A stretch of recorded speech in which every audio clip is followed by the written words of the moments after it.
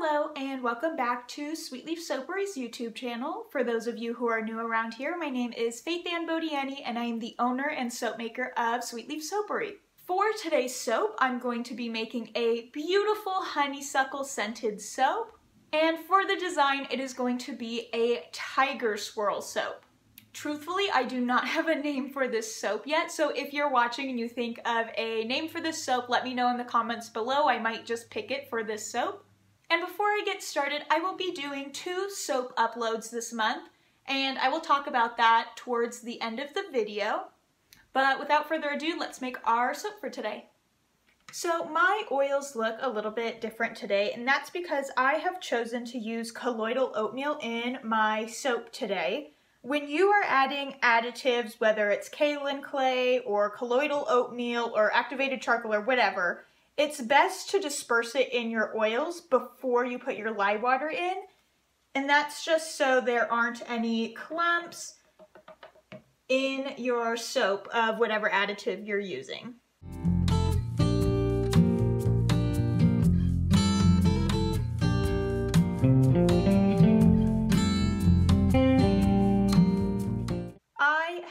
Stick blended my oils and lye together. My batter is just at emulsification and that means that it is not even at trace yet or a proper thickness if you will. And the reason that I did this, and I usually blend it just to about emulsification, is because my fragrance oil is supposed to speed up batter a little bit. So I want to keep it as runny and as fluid as possible. Okay, so I'm to have three colors for my soap today. And I'm to try a tiger swirl.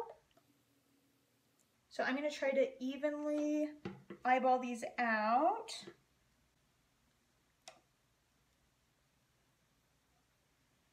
For my colorants today, I have some Shimmer Gold Mica in this container, some Rapture in this container, and in this container, I have Honey Blush mixed with a little bit of Yellow Vibrance, and all of my colorants today are from Nurture Soap. And because I want my trace to be as thin as possible, I'm just going to blend these in with a whisk instead of my stick blender.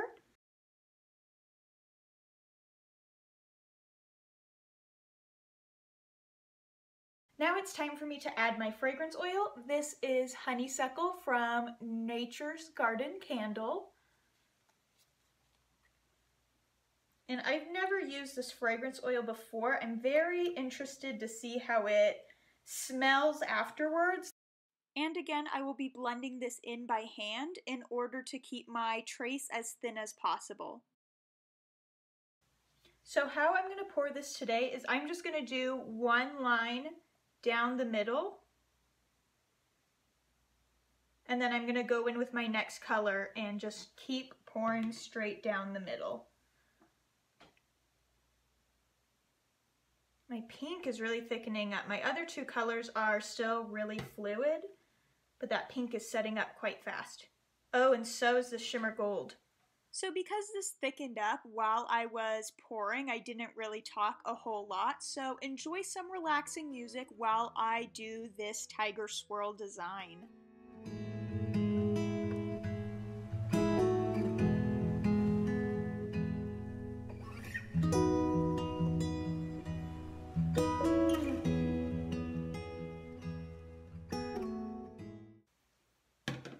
Okay, so I've had my fragrance oil in the batter for probably a minute or so now, and it is very thick. So if you're going to use this honeysuckle fragrance from Nature's Garden, just know that it really does thicken up.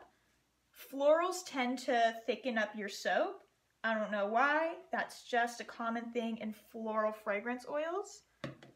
And I'm sorry that my table is so messy. I usually clean it up uh, in between whatever I'm doing. I'm just trying to get this in before it's too thick to work with.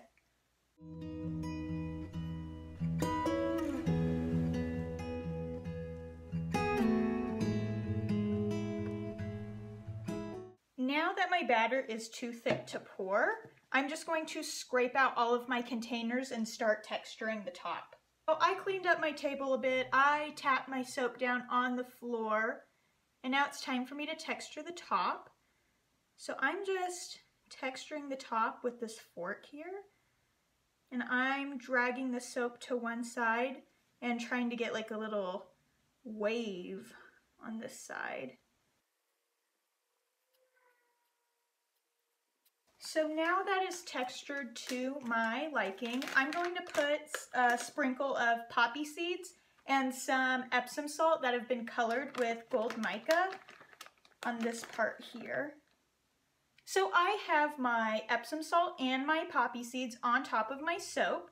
And before anyone comments or asks or texts me behind the scenes, uh, those poppy seeds are just for soap purposes only. You guys watch me put my soapy gloves in the bag. I do not eat those.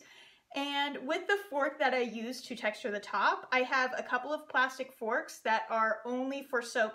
So anytime you see me whip out a plastic fork or a plastic spoon, just know it's never been in my mouth. It never will be used to consume food with. They are just for soap only, and I actually wash them and reuse them. But here is the tops of our soaps, and I will be back in 18 to 24 hours to cut our loaf into bars. Alright, so it has been just a little bit shy of 24 hours, and I'm going to cut this honeysuckle soap.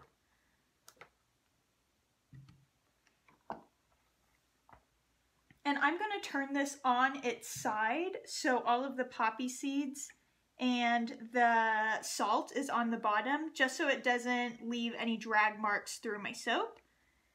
I'm very curious to see how this one looks because it thickened up on us.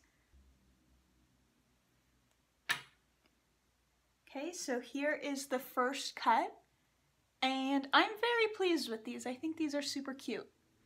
So quick disclaimer for anyone who uses colloidal oatmeal in their soap or is thinking about using colloidal oatmeal, it makes your soap smell like Nair hair remover for the first couple days. So I'll be back in a day or so to give you guys an update on how this bar smells. But I think these came out really cute and I hope you guys love them. For those of you who are curious on what happens to my end pieces, I actually cut them up into tiny sample bars and I place them in my orders. So every package gets about one or two sample sizes. Like I stated in the beginning of my video, I have no idea what to name these soaps, so if you have an idea on what I should call these, please let me know in the comments below. And if you like this video, please consider liking and subscribing, it really helps out my channel. These soaps will be available May 1st, 7 p.m. Mountain Time on my Etsy shop. Due to the global pandemic that is happening right now, I will actually be having another soap release in just a couple days. I've been upping my production, so April will have two soap releases. I usually just do the first of the month every month, 7 p.m. Mountain Time. It's very standard. But I will be uploading three more soaps on my Etsy shop on Wednesday, April 15th, 7 p.m. Mountain Time. If you would like to stay updated on my soap and new things that are going on and fragrances and all that fun stuff, I have an Instagram and a Facebook. Those are both just at Sweetleaf Soapery. And they're very fun to follow because I post about flash sales that I may have or I ask you guys personally what fragrances you'd like to see in soap. And my Instagram and my Facebook usually get a first look at everything. So those are both just at Sweetleaf Soapery. So there is a global pandemic happening right now and it's very scary and I know a lot of people are unable to work. So if you are genuinely unable to afford soap right now, please let me know. I have a bin of soap that is just for donation purposes only and especially in these uncertain times we really need to keep our hygiene and our hand washing up. So if you're genuinely unable to afford soap, please let me know. I would love to help you out. And with all that being said, my video is now over and I hope you all have a fabulous day and you're all staying healthy and safe and inside if you're able to. And I will see you all in the next video. Bye everyone.